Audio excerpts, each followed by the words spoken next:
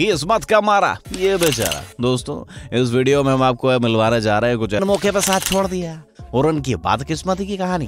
दुनिया भर में फ़ेमस हो गई। Mysterious Stories TV presents Unluckiest People Caught on Camera Russian Gold Drop साल 2018 की शुरुआत है भैया। साइबेरिया में रहने वालों के लिए लॉटरी जैसी थी वो शुरुआत जिनके हाथ एक खजाना लग गया था। वो भी एक रनवे पर। दरअसल इस रनवे पर जा रहे एक कार्गो प्लेन से सोने के ब्रिक्स गिर गए थे।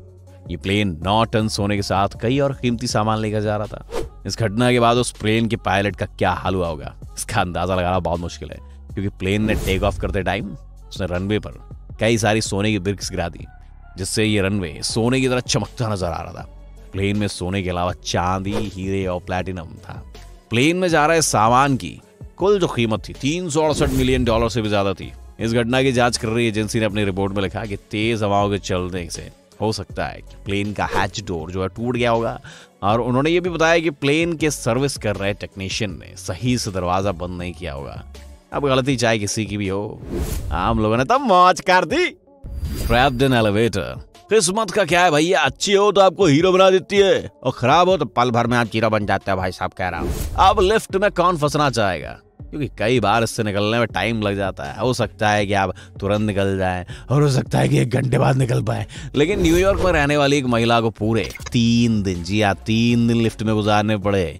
ये लिफ्ट मैन हैटन के एक प्राइवेट टाउन हाउस में लगी हुई थी, जो फैमिली वहाँ रहती थी, वो वीकेंड मनाने लिए छुट्टी पे गई हुई थी। टाटा बाय बाय जिससे वहाँ सफ़ाई करने वाली महिला शुक्रवार को शाम तक वहाँ अकेले हो चुकी थी। और इसकी किस्मत भाई साहब इतनी खराब थी ना ही तो इसके पास मोबाइल फ़ोन था और ना ही लिफ्ट में सेल बॉक्स था। और तो और, लिफ्ट में कोई इमरजेंसी बटन भी नहीं था, जिससे किसी से मदद मांगी जा सके। लिफ्ट दूसरे और तीसरे फ्लोर के बीच में खराब हो गई थी। ये महिला तब तक फंसी रही जब तक उस घर में रहने वाले लोग वापस नहीं आए। सोमवार सुबह जब लोग वापस आए, तब इसे बाहर निकाला गया। इसकी मदद करने के लिए वहाँ रहने वाले परिवार ने तुरंत इमरजेंसी सर्विसेज़ को बुला लिया, जिसने इस महिला को होश में लाया। गनीमत, ये इस बात की थी कि ये सुरक्षित इसको बचा लिया गया। चलो, कम से कम महिला की जान बच गई। भैया, इसमें खुशी वाली बात है तो उस वीडियो को आप लाइक कर दो फटाफट। Guys burns down his own house चार जुलाई को अमेरिका में इंडिपेंडेंस डे के रूप में मनाया जाता है भैया, चार जुलाई। और हर कोई इसे बड़ी खुशी से मनाता है। लेकिन खुशी मनाने के चक्कर में भैया ब्रुकलिन में रहने वाले छत्तीस साल के शख्स ने अपने घर को ही चला मारा। ये सब बस एक छोटी सी गलती से हुआ था। शख्स ने सुरक्षा का बिल्कुल भी ध्यान नहीं रखा। दरअसल ये जो शख्स थे वो अपने दोस्तों के साथ अपने घर के आगे की खाली जगह पर पटाखे छोड़ रहा था। तभी एक पटाखा खिड़की से उसके घर के भीतर चला गया।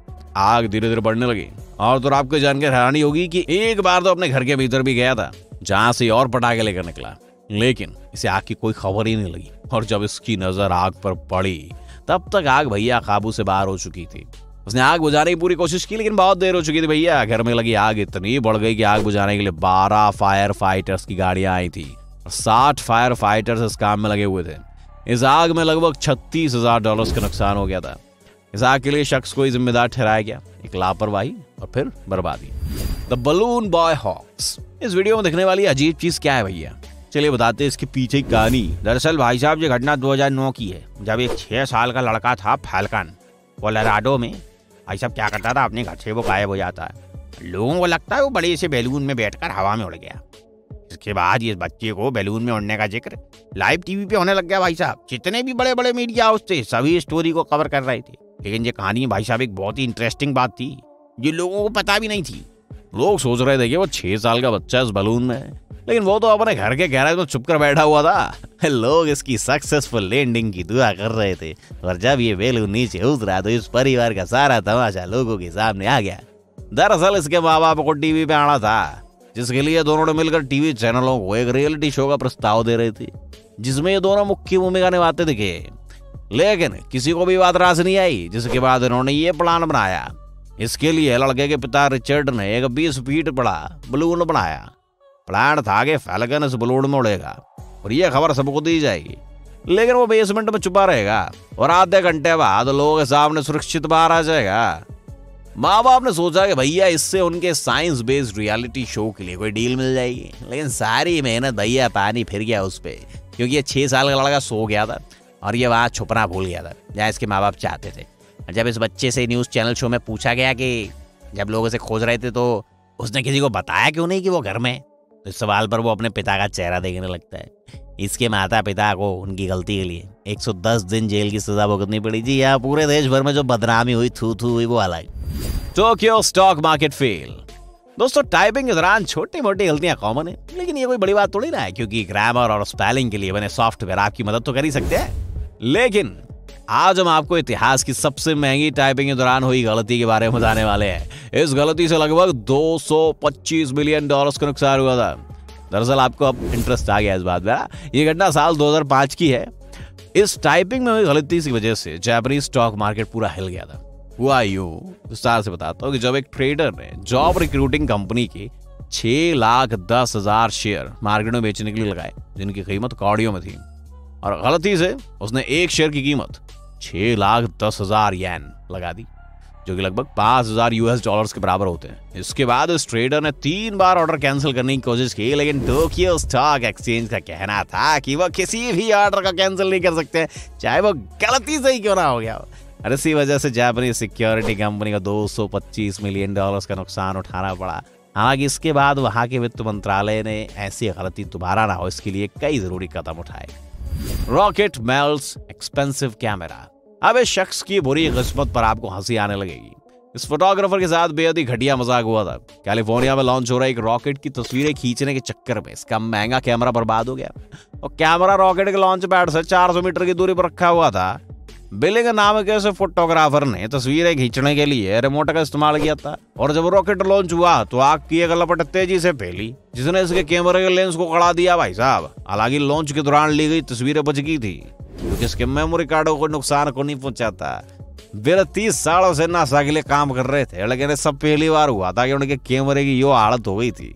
इस कहानी के वायरल होने के बाद बिल बहुत डर गए थे कि नासा को ये खबरें पसंद को नहीं आएँगी।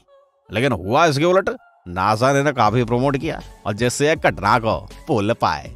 आगे बढ़ने से पहले नए व्यूअर्स जल्दी से चैनल को सब्सक्राइब कर लें। थैंक यू धन्यवाद। कार ट्रैप डिनाइज इस कार को देख लग रहा होगा कितने जन्मों से बर्फ़ जमी है इस पर। इस कार के मालिक ने ये कार एक रेस्टोरेंट के गैराज में खड़ी की थी। और जब ये वापस वहाँ पहुँचे तो इसे इसकी गाड़ी हालत में देखने को मिली। आदान आ गया। इसके कार पर बर्फ़ की एक चादर चल चुकी थी। और जैसे इस कार की तस्वीरें वायरल होने लगी कार के मालिक ने इसे निकालने के लिए बर्फ़ काटने वाली मशीन के साथ गर्म पानी का इंतज़ाम कर लिया था। और जब इनसे बर्फ़ का अच्छा खासा हिस्सा कट गया तो उसके बाद टीओ ट्रक की मदद से इसे खींचकर वहाँ से निकाल लिया गया, जिसके बाद इसे सर्विस सेंटर ले जाया गया, जहाँ इसकी मरम्मत कराई जा सके। Women gives away lottery win. California के रहने वाली एमली लीच की जब एक मिलियन डॉलर की लॉटरी लगी तो उनका नाम हर किसी को पता चल गया, भैया, इनकी लॉटरी बहुत सही समय पर लगी थी, क्योंकि इनके डॉक्टर्स को, इनके शरीर में एक बहुत बड़े ट्यूमर के बारे में पता चला था, और इनके पैंक्रियाज में था वो, और मेडिकल इंश्योरेंस नहीं होने की वजह से उन्हें लगा कि तीन लाख डॉलर तो अब कहीं नहीं गए, लेकिन तभी उनकी किस्मत बदल गई और उनकी एक मिलियन डॉलर की लॉटरी लग गई। लेकिन इनकी परेशानी कम होने की बजाय बढ़ जाती है। जनवरी की एक सुबह वो दुकान पर सामान खरीद रही थी और वहाँ दो लोग पहुँच जाते हैं जो एमिली को पहचान लेते हैं। वो दोनों कहते हैं कि एमिली की वजह से ये वो लॉटरी नहीं जीत पाए और उससे पैसे मांगने लगते हैं। तो दबाव में एमिली ने दोनों को सौ सौ डॉलर का बिल दे देती है, लेकिन गलती से इसके साथ वो इन्हें एक लॉटरी का टिकट भी दे देती है। ये टिकट दो लाख साठ हज़ार डॉलर जीतने वाली टिकट थी।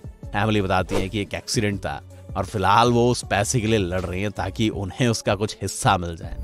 अब जरा इन मोहतरमा से मिलिए और कारनामे देखिए जरा इनके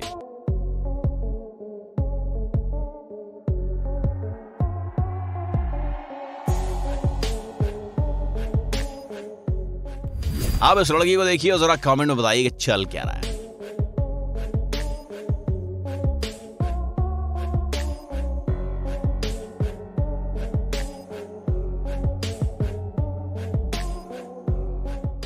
अच्छा ये वीडियो आपको कैसा लगा? अपना फीडबैक ज़रूर देगा पसंद आया तो जल्दी से लाइक ठोक दे। अपने दोस्तों के साथ शेयर करें। और चाहते हैं इस वीडियो का अगला पार्ट देखना तो कमेंट करें। नेक्स्ट पार्ट धन्यवाद।